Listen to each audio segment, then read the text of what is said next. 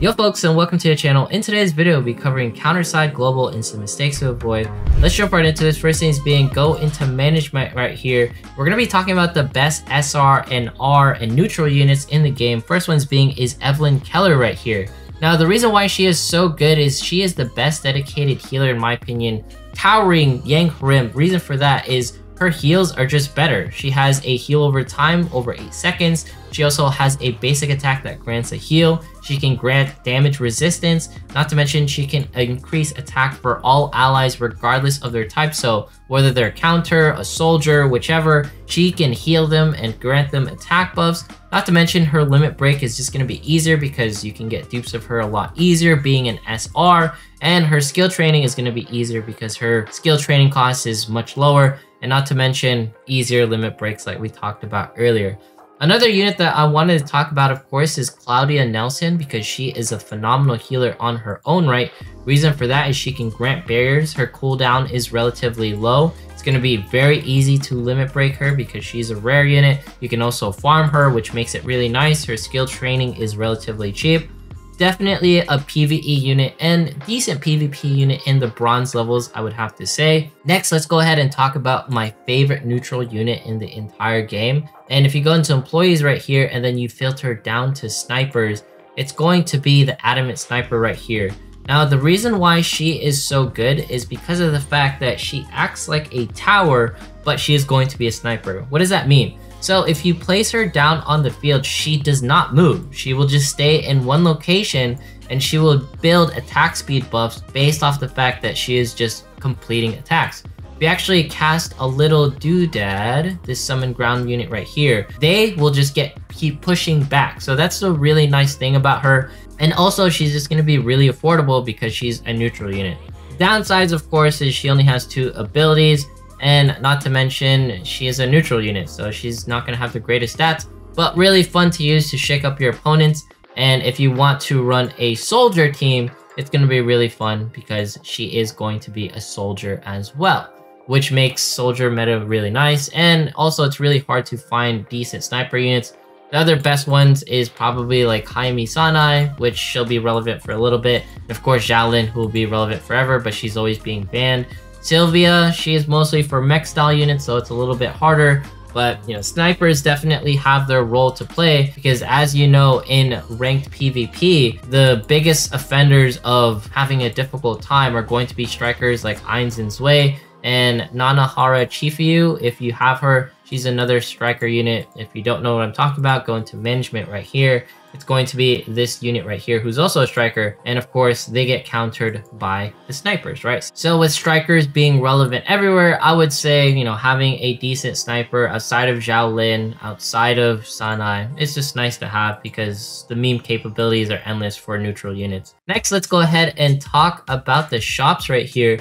Now, the things that I want to cover is not going to be the monetization stuff because that you can decide on your own seasonal rewards right here. The most important part, of course, is the classified employment contracts. Now, this means that every single tier below it, you have to buy them all. So yes, this is all worth it. Of course, this is difficult to acquire because this requires you to be good at PvP. You only need to be at silver in order to get all of this stuff. So don't give up on PvP. That's a huge mistake you will definitely get the gauntlet points to acquire this stuff. You can just save it at the very end of the day, and I would say it's definitely worth it. It's a mistake to avoid to completely ignore PvP.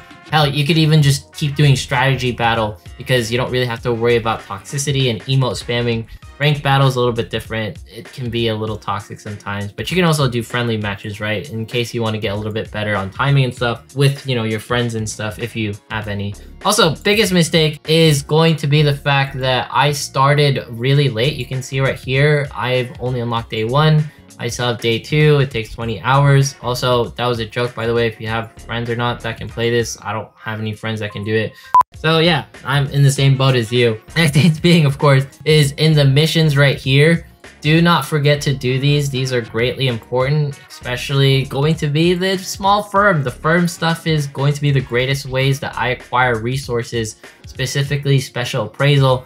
That's why I was able to level all of my units so quickly. And this rolls around to another tip. Don't build too many units at once Specifically, you can see it right here in the PvP areas. Now, I'm not trying to like focus on PvP too much, but one thing to note is that you will see a lot of people are level 100 and they're focusing very minimally on the units. So that sort of tells you people focusing on these eight will just have greater capacities to, you know, bulldoze content. You don't need like 16 or a million units even if you do raid, you don't need that many units at the very beginning. You just need maybe a good strong eight and you'll be fine. You could definitely use four units and put them on two teams. If you're wondering why I'm talking about that, if you actually go into the world map right here, of course, never ignore the idle sections and definitely get the employment contracts if you can get them. I think those are really important. And if you want, you can get the tuning binaries, but this is more of a late game thing. It's not really that important for early game, I would say. But the thing that I want to talk about the most is the dive right here. Some of you might be wondering, how do you build two teams? Well, you can build two teams fairly easily by having two groups of four. Just use, you know, the free ships that you get, you hit select, and you can go right here. And this falls around to the next tip, which is the info. So if you actually go into operations right here, you can actually do the counter case. Now, this is really nice at the very beginning. You can unlock, you know, the special appraisals, which will give you more EXP for your units, which is okay. But the thing is, is eventually you get gear.